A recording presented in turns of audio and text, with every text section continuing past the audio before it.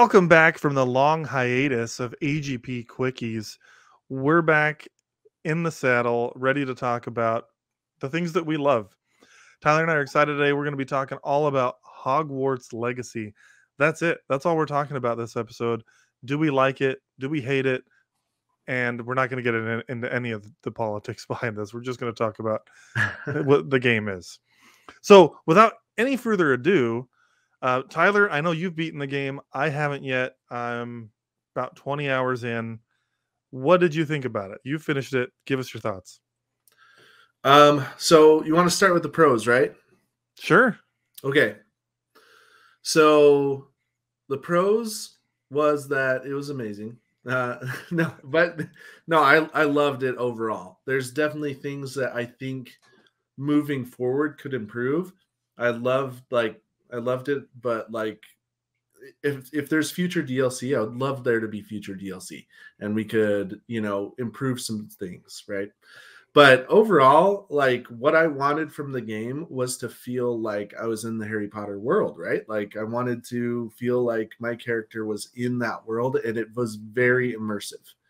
And so like there's a lot of like cons, you know, that I could make a big list about like you know they could do this better they could do this better.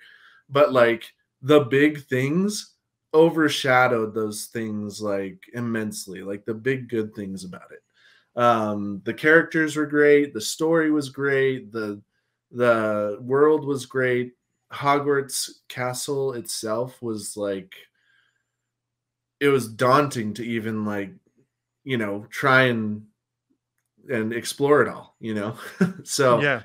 Um and just all the little things I, I you may have seen max i put on my facebook account uh, a video of uh running past some of the the armor guys and like one of them is humming and the other one gets annoyed and like punches him you know? There's just like a ton of like random stuff like that Yeah. that happens all over hogwarts. Um howlers being sent to students and them getting embarrassed you know all kinds of stuff.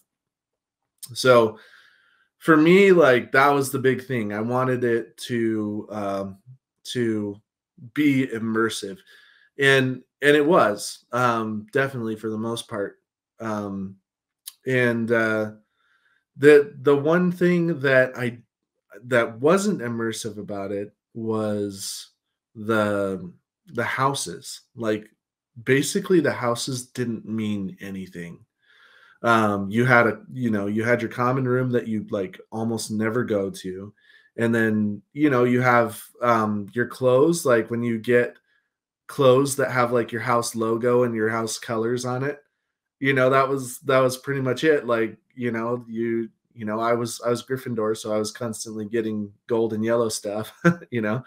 But i mean other than that it, it, meant, it didn't mean anything which which really hurts replayability in my opinion like i wanted to like be like oh i want to replay in this house you know but now i'm kind of like eh, it doesn't matter that much like it, i didn't do anything in my house you know Yeah, like the only replayability factor I'm currently seeing, other than the fact that it's just really fun, is right now I'm playing as a good wizard, and Yeah. I could play again as like a bad wizard. yeah Um, now I don't know how much that impacts the story, but I am curious to see what would happen if I was just a dick to everybody. Because right now I'm being nice all the time, except for there was like one interaction I had with this like side quest character. She was being like really pompous, and it gave me the option to basically tell her that she's being like um higher like holier than thou and so i took that option but for the most part i always like I take the, the i'm gonna be nice to you route you know Yeah. i'm a hufflepuff. Hufflepuffs are bubbly nice people. I'm acting like a hufflepuff but i kind of want to do a second run as a slytherin and just be like i'm gonna kill you all. But I, I, i'm gonna just jump in here for a second and talk about one of the things I, f- I like and find interesting but it's also a slight con. Um, I like the fact that it's not just oh you're a Slytherin you're bad like in the in the books and in the movies. Now the books have have more nuance than the movies do. The movies are very much like you're Slytherin you're a bad guy, uh, whereas Yeah. the books there are like good people that are in the Slytherin house. But there is like a, a that is pretty common that if you're in Slytherin in the Hogwarts in the Harry Potter books you're a bad guy. Um, that is not the case in the game at all. I mean, a lot of the characters I'm interacting with are Slytherins, and there's actually even a, a side quest that I, I won't like spoil, but it's like the whole thing is about these Slytherins that um, one of them really is against getting into the dark arts. Like he does not want to do anything with the dark arts because he's so against it. And I just like finished that quest and it's it's really cool. It's a really interesting quest. Well, I say I finished it. There's probably more to come onto it soon. Actually, I finished a portion of it. Um, oh, there's but- more to come, Max. good. That's good. a very that's a very uh, that's a very good quest arc. It's very Awesome. very good. Well, I'm excited about it. Um, but that leads me to like one slight criticism. Um, so I've seen some people pra- praising this. They're saying, "I love how nice all the teachers are and how nice all the students are at Hogwarts in this game." Because in the books and in the movies, like so many of them were just mean, and I get why they like that, and I do too. Like I, I like. I mean, I want the teachers for the most part to be nice. Like I can't think of her name. Um, Professor Garlick. Like she's just the sweet redheaded, you know, herbology teacher. I love that she's nice and sweet, and I like that for the most part the teachers are all nice, except for the headmaster. But in the books, I feel like, and in the movies, it's more realistic to like a high school, middle school experience. You're gonna have some people that are just mean and nasty, and so you're gonna sometimes have teachers that are kind of jerks. So I feel like that's actually something that is a strength in the books that people are praising as like a as a pro here. And I don't agree. I don't think it's a pro. I think it's more a matter of well, there's actually more depth in the books with more nuanced characters. Now I'm not done with the game though. Maybe there's more to come with mean um, students and teachers, but that was kind of just like a, a thought I had that I haven't seen many people discuss. Well, and I think that some of the teachers are extra nice to you because you're a new student in your fifth year, right? Like they're like, okay, like you're playing massive catch up, right? But then like you don't really need it because you're kind of like, you know, what's OP? the yeah, what's the male version of a Mary Sue? Like, yeah, like you're like ridiculously powerful. Um, but you know, it's for the gameplay, like it's it's to make the combat fun, right? But um you're, you know, like I that is some like another small criticism, like I kind of wish there was less enemies, but more difficult enemies, you know? When I'm just like, okay, I'm a fifth year student, like, and this is my first year, and I just took out like 20 dark wizards all by myself. You know, like I'm kind of feeling like maybe, like, maybe you should have just made them harder to beat, you know, and and not made so many of them. Like, Yeah. Yeah, I mean, you you and I have, have varying skill levels with games. Like you will tend to put things on hard before I do, and I like to play on normal mode. Other than like one time when I accidentally walked off a cliff, and the couple times I failed a stealth mission, I've never died.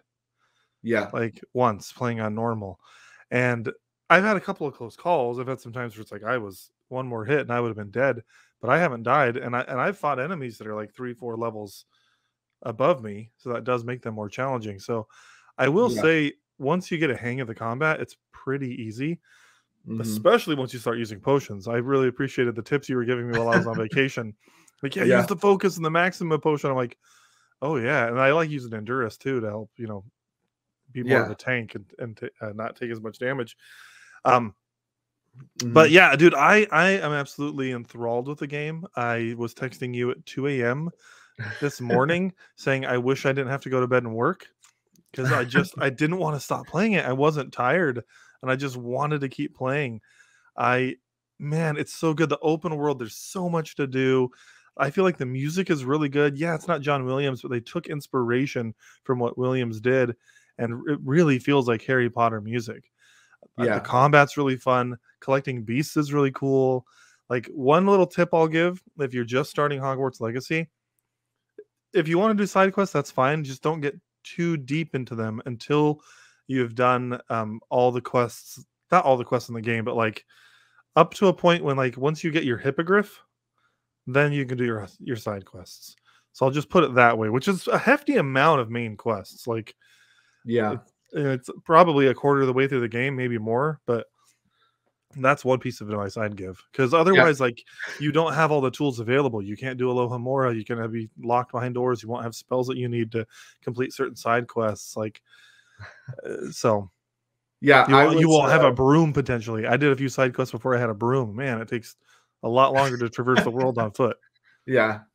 yeah, I, w- I went through so much of the game without Alohomora because I was I did so many side quests first, and I just like left so many chats like, oh, I'll come back to this town because uh, you know, I don't have Alohomora yet. Um, but yeah, so so definitely I'm the same way. Loved it. It was just super addicting. That's why I'm done with it. You know, the main story already. But um, yeah. So I mean, there's just I feel like the the good things about it are just so good, but it's like it's a, it's like I feel like it's a shorter list. You know, there's just like there are a bunch of cons. Like there are some things that are are could be improved upon. Yeah. But like like I don't know how to expound on the things that are good. Like I want to I want people to know like this game is super super good. Oh, dude, I totally, totally. Well, because like eh, I'll, I'll, give just I've wrote down four cons, and there's probably a, a few others, but these are like kind of nitpicky, except for maybe one of them. So one of my cons is there's like loading between areas. So it's like you'll be standing at a door and the blue circle will just load for like two full seconds before you can go into the area. It's kind yeah. of a weird thing. I wish that like they could preload it before you got there. Again, that's nitpicky. Um, not enough gear slots. That's annoying as all crap. I hate. Well, you got to do the often. Merlin quests. I've been do... doing Merlin quests but like it is i'm honestly i'm about to go look for a mod so i don't have to deal with this crap because it's like i'll be exploring and doing missions and now it's, it's annoying because now i have to travel back to hogsmeade and sell a bunch of my crap now i have a lot of galleons at this point because i keep selling my stuff but it's annoying like yes i'm doing the merlin quests and i've got more gear slots but it's frustrating uh not well, being able to pause cutscenes that's annoying Oh yeah, yeah. I, I mean, I mean, especially being a dad, you know, you have to go get your kid and you're like, I can't pause this. I, I had that like there's a part of the game, obviously, like it's it's a little spoiler, but you do meet centaurs at one point, right? But like you're I missed that whole cutscene because I had to go get my kid, you know, I couldn't pause it. I was like, "Come on, man!" yeah, it's that's really that was really weird. Like, I just played Forspoken, which sucks in comparison to Hogwarts Legacy, but I could pause the cutscenes, and that came in handy. Yeah. So that that's well, just like minor gripe. Yeah. One one thing that is a major thing for me is that the combat was not difficult enough. Like, you know, I was I was maybe a quarter of the way through the game and I was like, okay, I'm gonna turn this on hard now. And then I, I turned it on hard and it was moderately harder for, you know, until I got used to it. After it didn't take very long and then I was just like, this game is way too easy. And I was like purposefully trying to fight enemies that were higher level than me. And uh, yeah, it was just like, I, this is not a challenge at all. Even like the end boss, I was like, this was like, you know, I had like almost all my potions left. you know? Oh like, wow, that's that's pretty bad. yeah. So, um, so yeah, but but like I say, there are some cons, but overall, this game is fantastic um and um you know there's a couple little things the the little loading issue that you had like i had that there were like maybe two doors in hogwarts that had maybe took like a second to load on ps5 um so i didn't really have that problem oh you played like, on ps5 i just assumed yeah. you played on series x no no i uh, well because they had the extra mission on ps5 so uh, yeah i don't get that yeah. on pc but I am enjoying the performance on it. It's running really well. I I do do love it. I hope they make a sequel to this so bad. Like it's just I, I loved it, man. Uh, give me more in this universe uh, as video games. I'd like to see them expound. Like I like if they do a sequel, I'd like to see what you talked about with the houses. Like make the houses more unique. Give us a reason to replay the game. Um, you know, I wish there were like I I've heard that there are some uh, specific quest lines uh, for your house, but like it's only like one quest and it's not like a big deal. So it would be nice if there was more that mattered. Yeah. Yeah. Well, smash the like button if you want to see DLC for this game. Absolutely. Well, this is supposed to be a quickie. So that's going to wrap it up for this episode of AGP Quickies, where there's always time for a quickie.